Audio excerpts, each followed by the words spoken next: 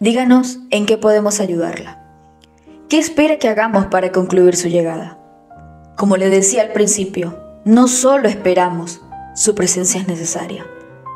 Señora amada, mi amor y mis sueños son suyos. Mi casa y mi aliento son para usted. Mis palabras y mi pensar se los dedico, porque hasta quien comparte conmigo actualmente mi cama, mi aliento, mis sueños y mi amor, la quiere a usted. Por esto, y cuántas cosas más, querida llamada revolución, si me permite llamarla por su nombre, le escribo desde este terruño aguardando su llegada.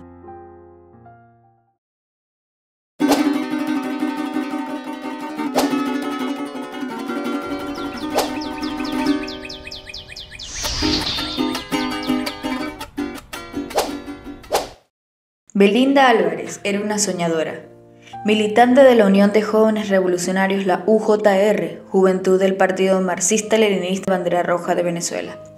Es recordada por su entereza, su entrega y convicción en las ideas comunistas, ideas que plasma en su carta Señora Amada, con el que inicia este video.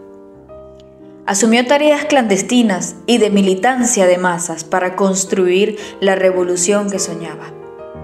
Hoy la recordamos. Se cumple 33 años de injusticia.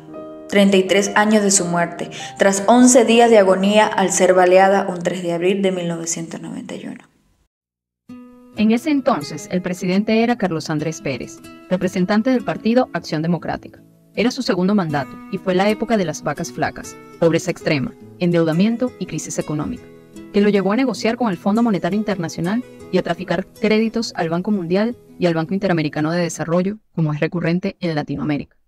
Las medidas neoliberales, contrarias a los intereses del pueblo, no podían tener una respuesta diferente que no fuese el descontento y enfrentamiento popular contra ese paquetazo. En la Universidad Central de Venezuela, los estudiantes siempre fueron la vanguardia de la protesta popular.